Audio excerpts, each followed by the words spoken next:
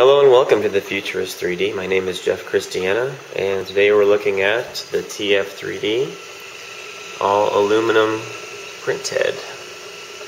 We've got our fan on the side, we've got our filament driver, we've got our idle wheel, and our NEMA 17 motor, running on two bushings along an 8 millimeter track. We've been printing for over 24 hours with this object. This horse was, uh, was 12 inches wide and about, about 3 inches wide, yeah, 3 inches deep.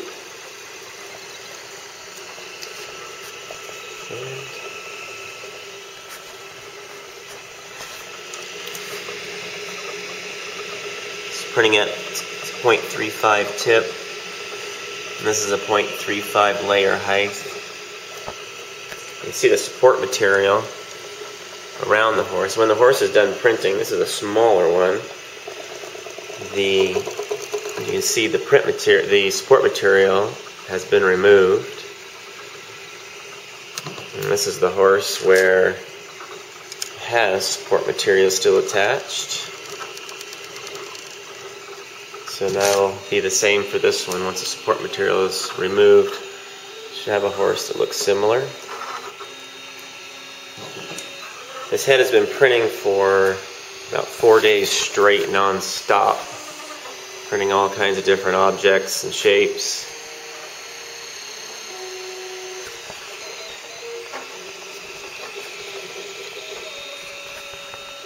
This is printing on our Glacier Steel 1616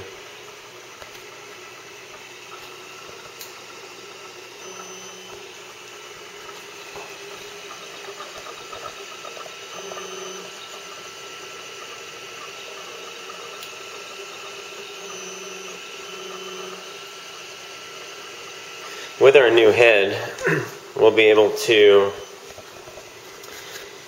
we're selling tips that will be similar. There'll be two variations. We'll have this type of tip. We're going to have another type that doesn't have this PTFE disc. It'll have the block, and then it'll have a PEEK block that will have the same hole spacing.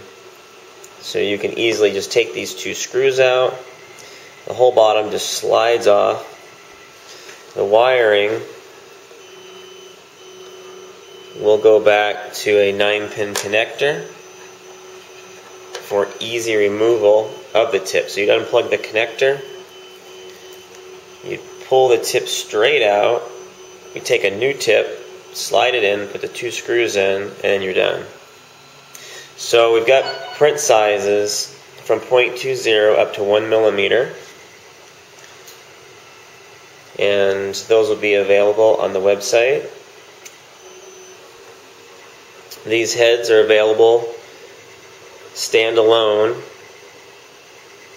and of course, these heads come installed on all of our Glacier Steel and Mendel Basic machines from here on out.